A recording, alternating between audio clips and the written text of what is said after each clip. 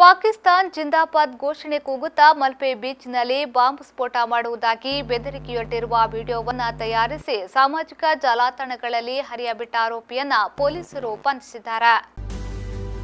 ಮಲ್ಪೆ ತೊಟಂ ಬಾಜಲ್ಪಾರ್ ಬಳಿಯ ನಿವಾಸಿ ಶೇಖರ್ ಎಂಬುವರ ಮಗ ಸೃಜನ್ ಪೂಜಾರಿ ಬಂಧಿತಾರೋಪಿ. ಈತ ಮಾರ್ಚ್ ಒಂದರಂದು ಅರ್ಧ ಮುಖಕ್ಕೆ ಟವೆಲ್ ಕಟ್ಟಿಕೊಂಡು ಹಿಂದಿಯಲ್ಲಿ ಮಾತನಾಡುತ್ತಾ, ಪಾಕಿಸ್ತಾನ್ ಜಿಂದಾಬಾದ್, ನಮ್ಮ ಮುಂದಿನ ಗುರಿ ಮಲ್ಪೆ ಬೀಚ್. ಅಲ್ಲಿ ಬಹಳ ದೊಡ್ಡ ಮಟ್ಟದ ಬಾಂಬ್ ಸ್ಫೋಟ ಮಾಡ್ತೇವೆ. ಅಲ್ಲಿಯವರು ಕೆಟ್ಟವರು ಇದರಿಂದ ರಸ್ತೆಯಲ್ಲೇ ಅಂಗಡಿ ಇಟ್ಟುಕೊಂಡವರು ಕೂಡ ಸಾಯ್ತಾರೆ ಎಂಬ ವಿಡಿಯೋವನ್ನು ತಯಾರಿಸಿದ.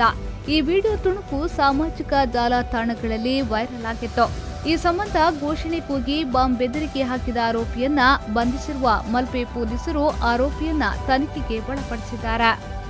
ಪಲ್ಲವಿ ಸಂತೋಷ್, ವಿಪೋ ನ್ಯೂಸ್ ಟೆನ್ ಪೋಸ್ಟ್ ಉಡುಪಿ.